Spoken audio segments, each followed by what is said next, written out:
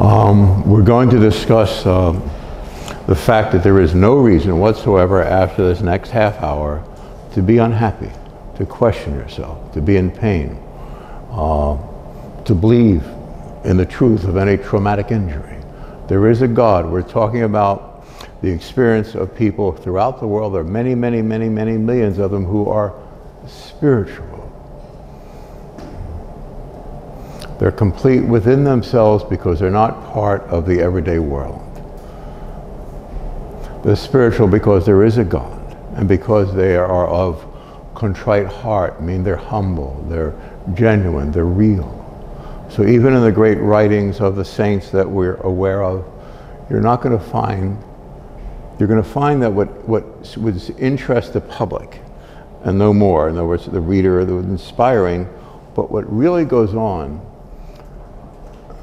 is of such a humane, spiritual, human again character. They do not want to hurt anyone, to uh, prohibit anyone from feeling, experiencing, believing in whatever they believe in. Last week we spoke of the fact that a spiritual person doesn't want to hurt anyone. Uh, in, in a little more deeply considered, it means that you're completely sensitive to all reality, and you hide this. You're literally not here. You are before God in eternity, and God is an infinite, humble human being himself. It's an infinite presence. And when you're quiet, you're humble, you're aware, it's, there's no pain, there's no trauma. All the ones you love, like for myself, the reason I do this is there are so many people I love so deeply and they're involved in, for the most part, they're involved in a tremendous agony in their lives for this reason or that reason. I don't have to explain that. We know what that means. This is a rough town. It's a low-rent neighborhood, this, this planet Earth. It's always been called the material dream, or the mortal dream, or the, or the way of all flesh, and, and high literature and so forth. It's, uh, we're high rollers in, in a low-rent neighborhood making the point very clearly the spiritual people are, even the saints, we're, we're all spiritual people, don't want to hurt anyone, to intrude. I myself have many skills of being able to very quietly listen, be with people, and every spiritual person uses different spiritual gifts. And there are an endless array of uh, spiritual enhancement techniques, meditations, exteriorize your consciousness, you know, uh, and it's there, prayer, doesn't matter what it is. There is a God. We are his radiance. And continuing on that point, the reason the world does not know about us or understand us or believe in God is because we're we don't want to hurt them. In other words, hurt whatever their reality is. We're completely aware. Say, a spiritual person runs in, hey Johnny, how you doing? We're aware of every factor in their psyche, in their emotional structure, in their spirit that's not present. They might be thinking, oh, you're, you're a little balding. You're, they might have these little tiny thoughts, and we're respectful to them because we're always available to be an instrument of God for their benefit. Today I'm going to elaborate on that so we can understand that we don't have to take it anymore okay? You can get very powerful, like my buddy Greg here, completely spiritual. He's, he's an altar boy, and yet he's a ninth degree martial artist. He trains many, many, many professional fighters, and, and he's the kindest, truest man in the world. Just simply because he's made a living in fine arts and uh, musician and so forth and so on, but he is completely present. Every great artist is completely present in their own psyche before God, before this openness, before this purity. Divinity itself, the presence of God, which is, is what we touch when we don't want the world, when we stop needing or wanting or desiring. And that's not a difficult task. If you had, let's say, a, a neuropsychologist, maybe she or he got was uh, had a stroke, and then because they're a scientist, they would look at, oh, it took me 70 seconds to have a certain type of thought. and then it disappeared. And yet, and it, maybe a minute and a half to think through a certain other thing. And yet, as a scientist, she knows that all the energy, all the neural synapses and all are going off. And 99.9% of the, the presence and the energy of the thinking going on in your body subliminally is uh, not part of your conscious thinking process. We talked about the Zen master uh, Bodhidharma. If you, this is simply an organ of concentration or not of concentration, of, of, of, the opposite. You're simply looking for something. It's, it's uh, one of your sensu senses. You want to touch, you feel, and the mind is just looking for something out of order. And Zen meditation or martial arts meditation, like my buddy Greg would do, is just you get your whole sensorial field. You feel that just relaxed. In other words, that all your senses, all your emotions fall down deep in the abdomen. And it just takes a moment. It's very peaceful. And yet, this thing is going on in here and there, like a little rabbit. And you put this thing, you exteriorize, if that's a word, your consciousness. And meditation, you put it 18 inches if you were a Buddhist monk. Uh, when I studied my buddies in Korea and so forth, you just look 18 inches on the floor, you put your mind out there, you exteriorize it. And all the thinking will stop. Last week I spoke about the fact you do it for 30, 35 minutes sometime. I mean, truly do it. We are out of, out of your thinking mind. Something will happen to you that is so enormous. You might already be illumined, might always be uh, spiritual, saintly, kind, true. But something will happen where you can feel all the glory of God in heaven. It's, it's so empowering. But you always, always, always hide this when you're around mortals. Remember Shakespeare, what fools these mortals be. So the idea is that we are so kind and contrite. We're not afraid of anything. We're being gentle, and people might mistake that for a certain weakness or we're, or even being feeble in some way. We're not. We're whole, we're intact, we're powerful. And we always hide it because we never want the world to think that we have some kind of power being spiritual. There are always uh, writings about the gifts and powers of spirituality. They're not involved with the present world system, which the material environment we live in. They're not that. They're of a higher order. When you don't want, when you don't need, and you're quiet, then, then they count. You can go 2,000 years in the past, 5,000. You can see the dinosaurs. At the same time, you're, you're not even here. You're nobody. And that's why you can know God. I am nobody. I've always known that. Because of that, I can see God. can see God in you. There's nothing wrong with you. You stop being battered about by this little flimsy force that owns this world. It's a, in all the spiritual traditions, the world is seen as a, an illusion. It's not really here. It's a fabrication, a construct. And the moment we fall in love, which is the same as enlightenment, but you fall in love with God. But there's no one need or desire. There's just an eternal like, oh my God. And it gets bigger and bigger and bigger. And you will always be the center of the universe. God is that infinite presence that gives God's self away forever. These are not just words. Stop believing in all the stuff that's coming at you. Apply two or three or seven of these self-enhancement or spiritual enhancement techniques, whatever it takes, to quiet yourself, to remind yourself.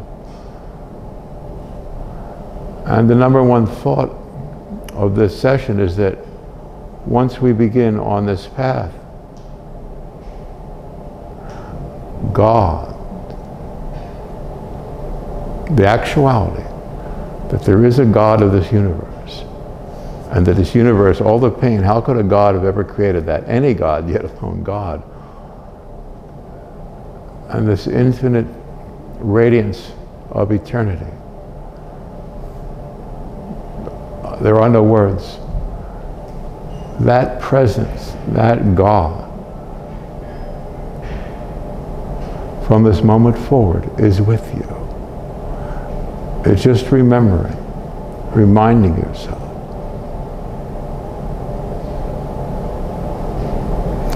So whatever you use to begin this process, and all of us here and all spiritual people in the world have felt enormous spiritual moments or days on end or just being in love. That's very similar. That's a little touch of that. That's a reminder of God touching each other. The reminder there is something larger than just the person and the body and your paycheck. It's not about respect or being respected, it's about quiet. And once you step through the quiet,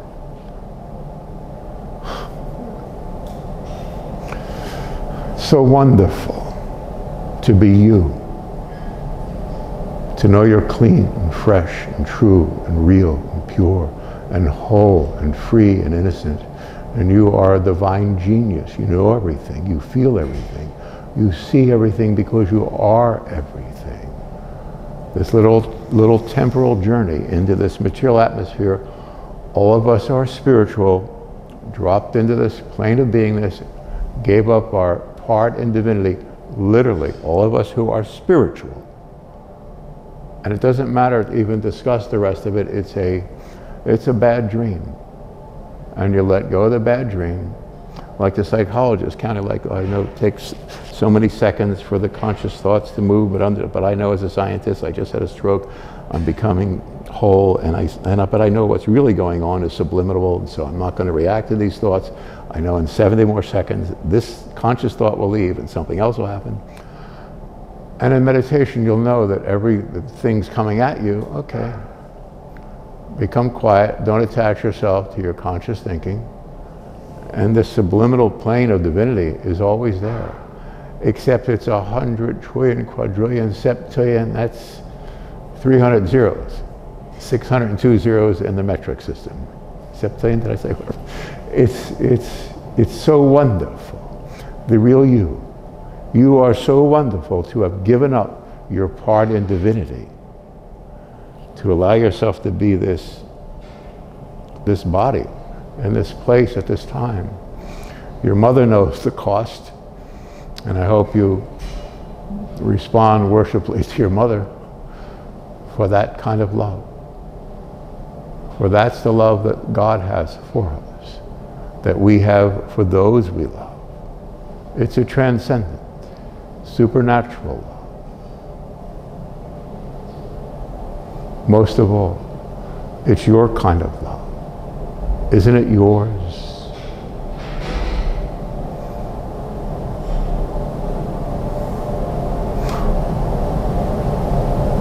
You're children of a new dawn. You're adults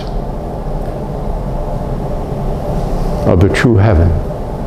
You're here to take charge, to roll it all up like my buddy Tim would do.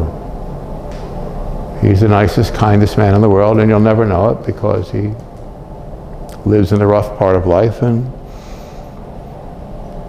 it's like a, uh, a priest, someone like a detective would laugh at a pro. Though. How would a priest know what's going on in on the streets here? Well, I don't know. I guess if you've ever been in the confessional box, you might rethink that. So the job of spiritual people, first of all, is to battle evil. It's like Rocky in the uh, in the sixth round with Apollo, was it whoever, whatever his name was, and he's fighting him, and, and then he allows him to take all the punches, and then he comes out of the corner and saying, you ain't so bad. You know, it was like, you know, he took all he could, all it was the other guy could give. And so you're very quiet, you don't have to even do that with Satan. It's an actual force that runs the world. People are possessed. Uh, I've certainly been involved with what you call depossessions and so forth, and it's, it's, it's nothing for me because I don't react whatsoever. So it's not fighting some force like it's an equal force. When you're spiritual, when you're contrite before our Father, it's, it's easy. There's nothing to it. Yes, we're going to practice for a few months or a year.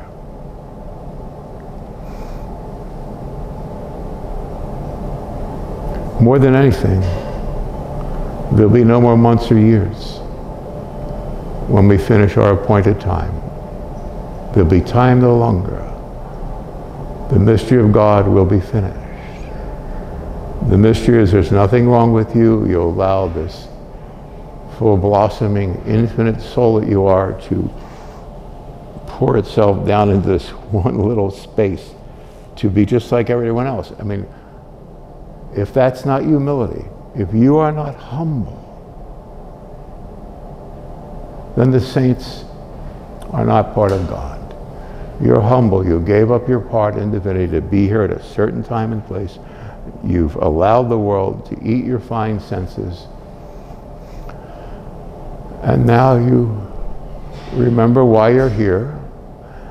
And the reason you're here is God cannot experience the world. I know this is a fact, it's a spiritual presence. It's the beginning of what God is infinitely beyond what anyone's ever thought. There is a spiritual condition called illumination.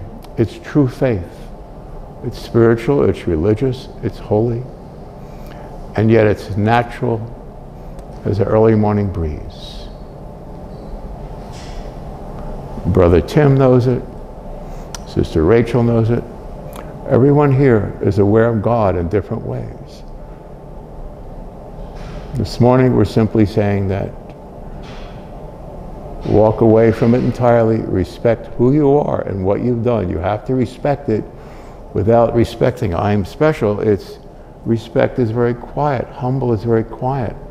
It's like people, the average person, well, I'm not going to be spiritual. You have to give something up. You have to give up love or whatever. Like, no, you don't give anything up.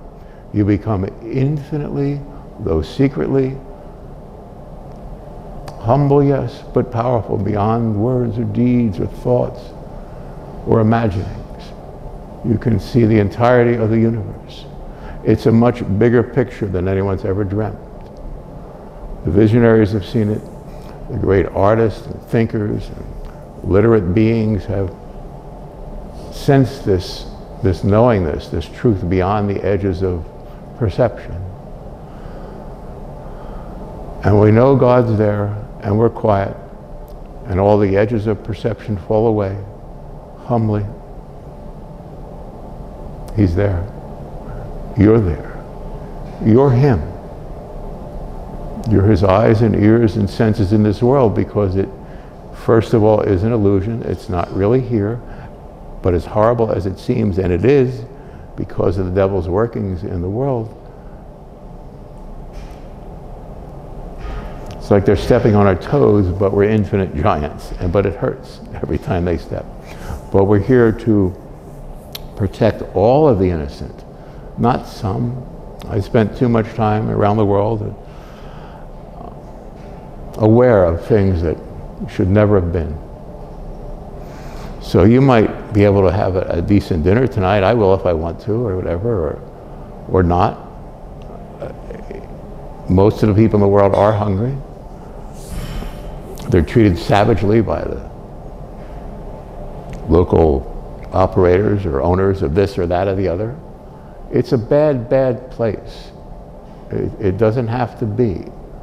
You have the different socio-political groups that are fighting each other. There's nothing except God. There's never been anything except God, except this higher consciousness, except you.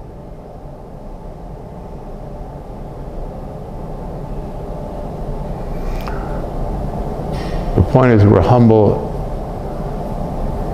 because we've been respecting other people's belief system. They believe I'm Johnny or Joe and I'm here and I'm this person or I have an education or I have money or I'm cute or whatever. It's like, so we're around people and they look at us like we're idiots, but what I'm saying is there's a way beyond all that. You can become stronger than all that and they'll fold up. It's like, come on, you ain't so bad. I mean, Satan. It's, they say that uh, the devil fears one righteous person more than a thousand blind believers. And righteousness is not a stand, let's fight. It's humility before God. That's the only power a human being can ever enjoy. But once you're there, God keeps giving God's self to you. You have gifts and abilities and thrills. You're aware of unending dimensions and different rooms of understanding and wisdom. But it's all here. I can see my, my family, my this, my that, the people in my life that I love so dearly and I couldn't help at the time because of circumstances. And, and I can meet them here and now. My point is, we will help all those we love completely and truly and finally and forever. But of all the issues of mankind, the one that can only be done by the individual on them, by themselves is their relationship to God. You're the church, you're the synagogue, you're the reason, you're the truth. And you get there through humility. That's the only candle you need to light. And then God will be there. And you'll be as He is.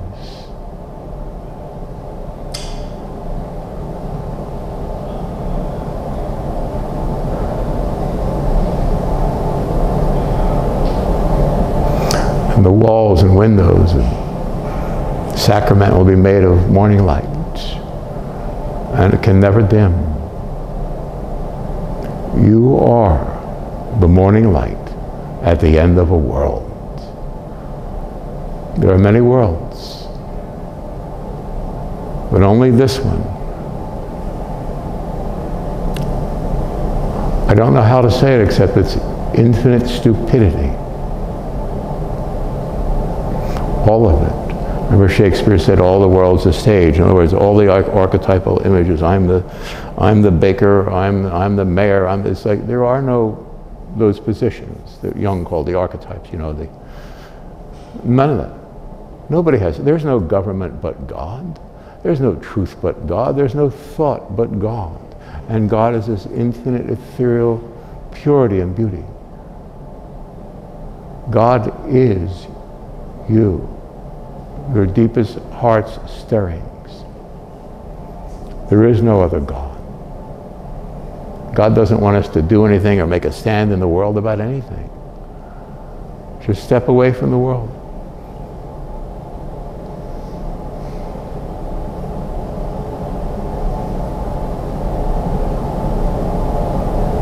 It's so easy. It's so necessary more than any of this, it's so you. Isn't it you?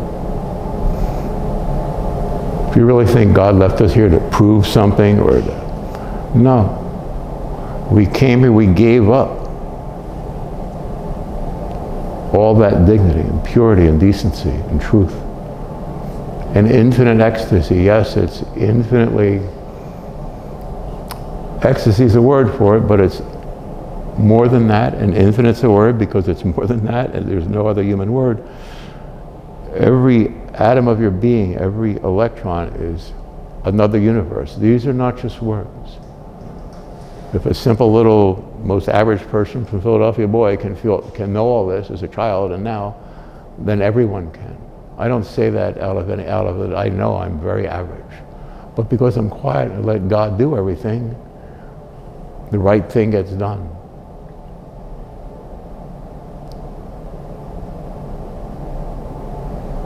The world's a very bad place for most people here. We're going to instruct, teach, care, pray, heal, caress with more love than we've ever known. And mostly in a very, very quiet, secretive way. Because it's all spiritual. Because in the end of this process, it's all spiritual. It's as though it never was. Because in all truth, it never was.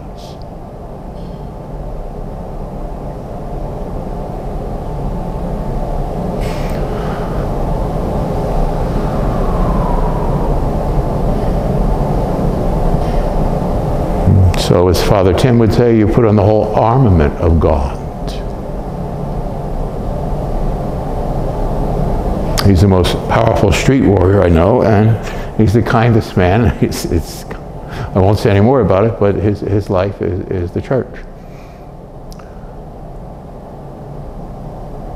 And all of us here, our life is, uh, we're not happy.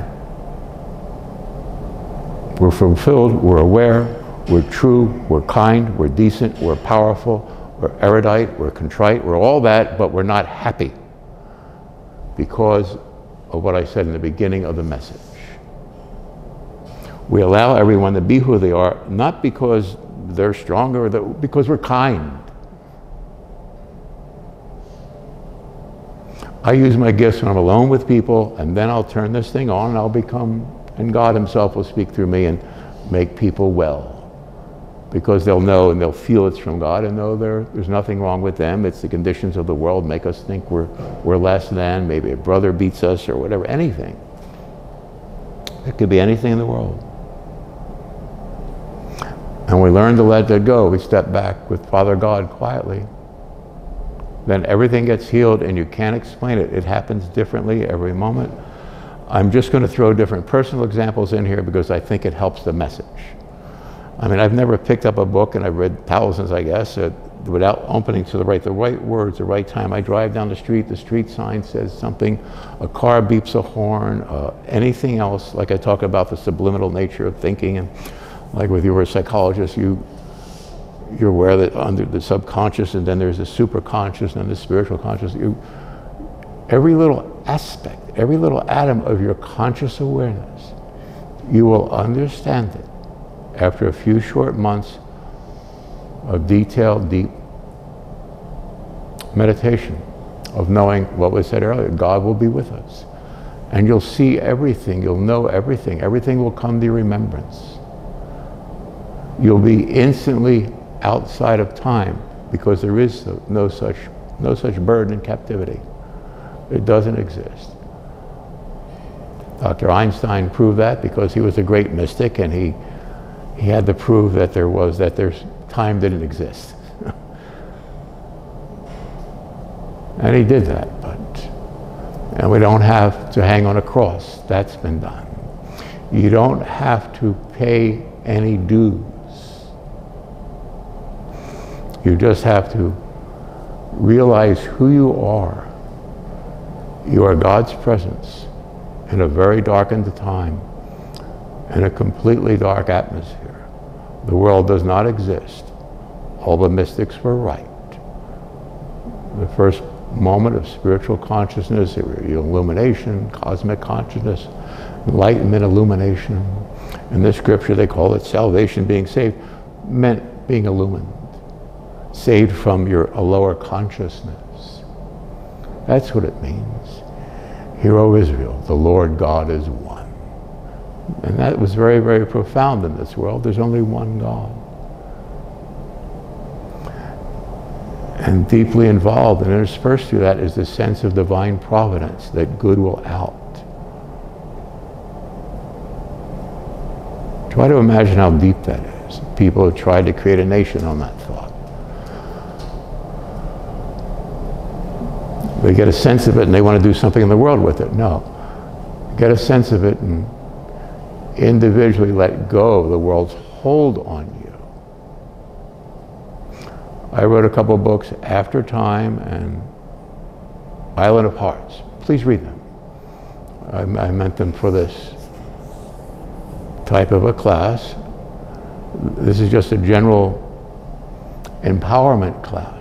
But the individual studies all work. The, uh, people, how to listen to people, how to heal, how to do anything and everything in a spiritual way. I got that down on paper somewhat, well, very fully, and then please understand what's being said. These are not dreams or wishes or hopes. There is a God. There's nothing wrong with you. You're born to end the whole thing and it ends in your psyche. That's what illumination, nirvana, spirituality truly is in this environment, in this world system. You're going to blow through the whole thing. It's not just that you feel some beautiful feeling some evening and you get up early in the morning with the first ray of the sun dawn and the innocence in the air and the soft golden haze and you're you know that everything's beautiful, and then all of a sudden, five seconds later, you hear a truck slam its door, and then the world becomes the world. In illumination, the world will never become the world again. You're the new sheriff in town. I really, really mean that.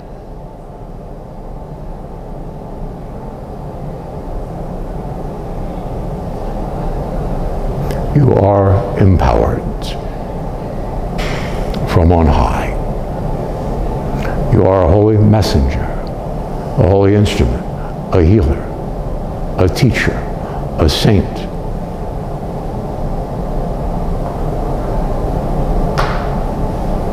There are so many gifts of the soul, of the spirit within you. Step away from the world formed to God, unformed, uncreated. God is uncreated, everything's spiritual. And so as, you, soon, as soon as you step away from what seems to be, it's such a joy and yet it's natural.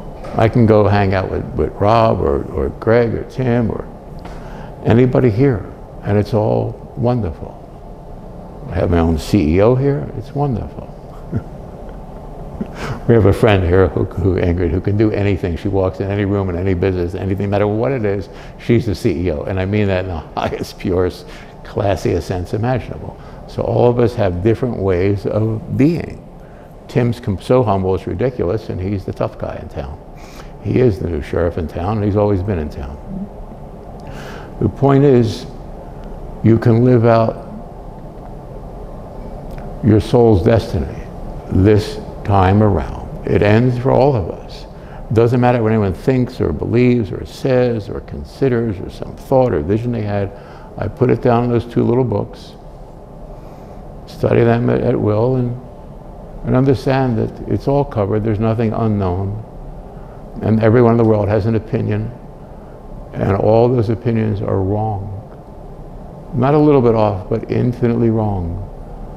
The world never was. You are an infinite soul that gave that up to be in an infinite universe in this one, like, tiny, infinitesimal, infinitely smaller than that atom of a place, of, of a little particle of dust. I say this in the terms of cosmic consciousness, illumination. When you feel these things, it's infinitely wonderful. And and the first, before the first moment of it, this whole physical world disappears like a bad dream, like it never was. And it will never be again in your day to day consciousness. You'll know everything, you'll see everything, you'll feel everything, you'll be everything. And you can heal everyone that's decent, that you want to, in your way, in your time. You can go home and work on them, or you can meet them in the market, or I can look in someone's eyes and do that. I'm, excuse me, I'm just moved to do that. It just is. There are beautiful, beautiful, dignified souls. And the world doesn't respect their class, their dignity, their intelligence, their sensibilities. In the world, in all like literature, it's been called the way of all flesh, the mortal dream. And it's just, it's Satan's casino. And it need not be in your psyche. And when you step away from the world form, quietly, simply, purely, your breathing will become more full and rhythmic, and it will disappear. There's something beyond this agency of breathing, this consciousness. There's something so wonderful. It's a person. It's you. You gave that up to be here because something was needed. You felt it in your divine beingness. And now you're here and you're going to use all the time and all the pain and all the trauma, all the conditioning of being here to understand what it's all about through that, you can communicate to other people. I lived in the mountains in Tibet 50 years ago, and I realized I'm the only one that could communicate this. And at the time, I only saw myself as the only one who fought the dark side completely. And so I used, because I had the state already, I was not trying to achieve. It was like, so I went into the worst places there are to, and been involved with the worst stuff there is for all this time to find out ways to communicate the teaching. You are the teaching, what you feel in your heart and soul. And every moment, every egregious moment beyond that is the dark side trying to entrap you in some way, to ensnare you. In the old book, they call it the snare of the devil. All these subtle, subtle things.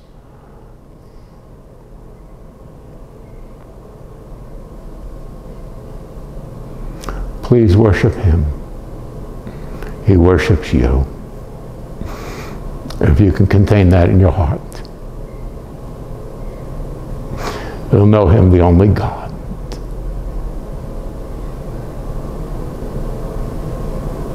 You're a bright and a shining star. You've given up your part in divinity. You've placed yourself here in hell. This is a hell. You have a bad dream and you wake up, you're completely happy, but the dream was real, wasn't it? Again, any spiritual presence, they're, they're, they're always going to be so nice because they don't want to change your reality. The, the basic message of today is you can step beyond that I can talk to anyone and be very, very direct if I choose and change them if they can be changed in a public setting or whatever. I've hidden that part of me for 50 years. I don't wish to do it any longer. Do you?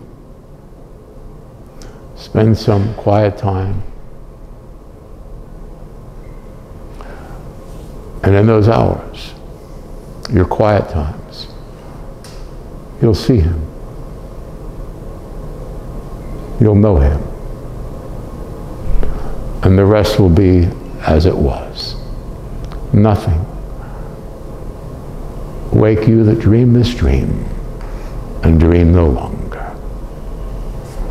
Thank you. I love you. Thank you for listening. Thank you.